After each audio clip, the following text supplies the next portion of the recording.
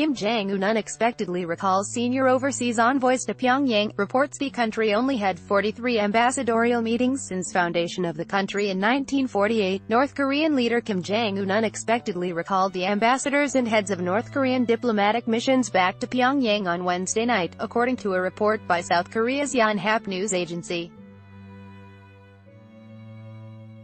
The report speculates that the diplomats might have been recalled for an ambassadorial meeting, which is a rather rare occasion for North Korea, who only had 43 such meetings since the country's founding in 1948, with the latest meeting being held in 2015.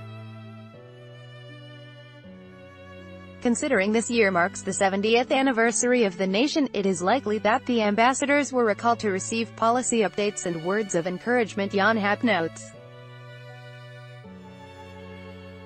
South Korea's unification ministry reportedly said it watches the development closely, but noted that, it is yet to confirm any information on the issue.